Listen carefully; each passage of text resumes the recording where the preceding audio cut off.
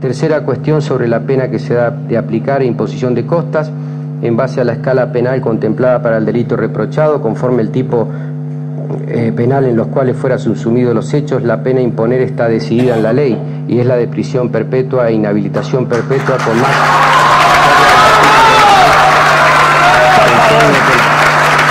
Desaloje la sala.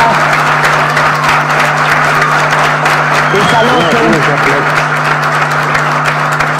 Por favor, silencio. Por favor, señoritas, señoras, señores, hay que terminar de leer la sentencia, por favor. Caso contrario, se procede de inmediato a desalojar la sala. Este es un acto que hay que terminar de cumplir, estamos obligados a ello. Gracias.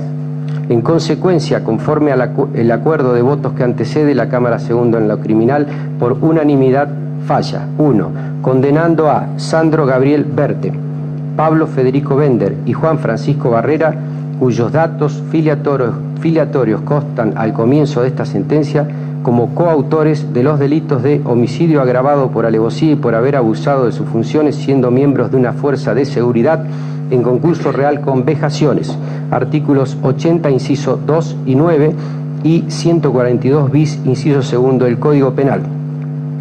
Eh, en carácter de coautores, artículo 45-55, a la pena de prisión perpetua más inhabilitación perpetua para ejercer cargos públicos accesorias del artículo 12 y artículo 499 del Código Procesal Penal.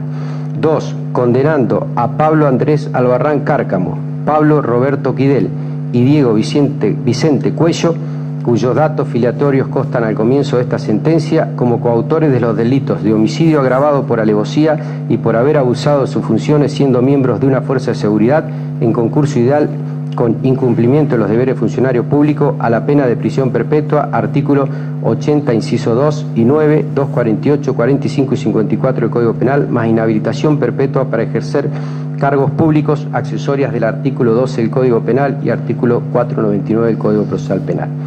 3. Condenando a Héctor César Martínez, cuyos datos filiatori- filiatorios constan al comienzo de esta sentencia, como coautor de los delitos de homicidio agravado por alevosía y por haber abusado de sus funciones siendo miembros de una fuerza de seguridad, artículos 80, inciso segundo y 9, 45 del Código Penal, a la pena de prisión perpetua más inhabilitación perpetua para ejercer cargos públicos accesorias del artículo 12 y 4 del Código Penal y 499 del Código Procesal Penal, absolviéndolo por el beneficio de la duda como autor del delito de abuso de autoridad y falsedad ideológica, artículo 248 y 239 del Código Penal y artículo 4 del Código Procesal Penal.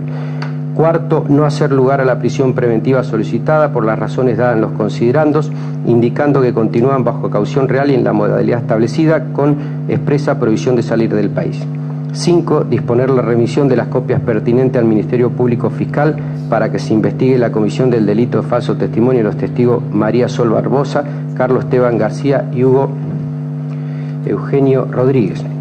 6. Regular los honorarios profesionales ya aludidos y en las sumas indicadas en el punto 6 y 7. Regístrese, eh, comuníquese y oportunamente pase al juzgado penal número 10 de esta circunscripción judicial. Firmado doctor María Belina García, doctor eh, Martín, doctor eh, eh, Martín y doctor Oscar Gatti. Eso es todo. Buenas tardes.